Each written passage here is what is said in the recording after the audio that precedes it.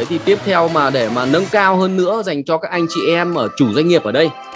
Nếu mà chủ doanh nghiệp các anh chị đang kinh doanh rồi thì các bạn các anh chị có thể nâng cấp lên những cái thiết bị nó nâng cao. Ví dụ như là cái uh, chân máy uh, cái uh, gimbal tay cầm.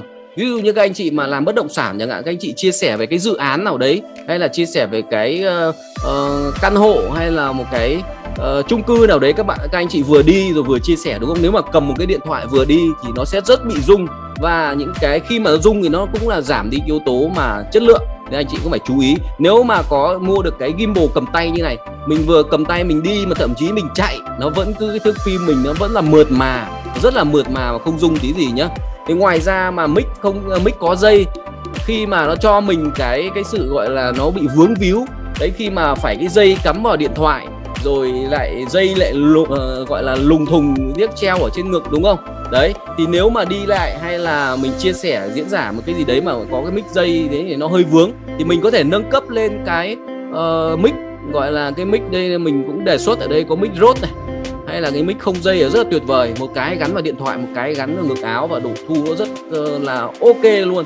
Mà những anh em nào mà đi ra ngoài đường hay là thậm chí có những tạp âm như là gió này hay là những cái tiếng còi xe hay những cái tiếng gì tạp âm ngoài kia nó sẽ không thu ở trong đấy. Nên là anh em chú ý về cái yếu, yếu tố thiết bị nó rất là quan trọng đặc biệt là âm thanh. Thế ngoài ra là đèn quay.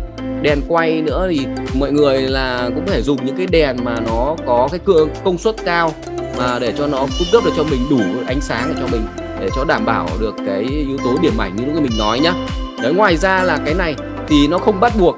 Thế nhưng nếu như anh em nào mà nghiêm túc mà cần cái cái cái yếu tố kỹ xảo hơn nữa thì chúng ta hãy đầu tư thêm về phông xanh. Thì phông xanh ở đây thì nó cũng có rất nhiều cái phông xanh. Nó uh, nó rẻ thứ nhất là phông xanh bằng vải. Các bạn có thể tiết kiệm mua cái phông xanh vải. Mục đích của phông xanh để làm gì? Thì muốn chia sẻ ở đây cho các anh chị em phông xanh là để chúng ta để ra đằng sau cái bối cảnh ở sau lưng mình. Để chúng ta có thể khi mà quay cái video của mình nó có một cái nền xanh đằng sau, chúng ta cho vào phần mềm biên tập, phần mềm mà chỉnh sửa video đấy, chúng ta có thể tách cái phông ấy ra, tách bỏ cái phông màu xanh ấy đi, để chúng ta có thể lồng ghép được vào, lồng ghép cái gì? Lồng ghép vào sản phẩm chúng ta, lồng ghép ờ, background là công ty chúng ta, hay là lồng ghép một cái bài tập, hay là lồng lồng ghép một cái gì? Uh, về cái trong cái nội dung mà các anh chị muốn chia sẻ nó rất là hay nó rất là hay ở cái phông xanh. Cái cơ chế của phông xanh nó như nào?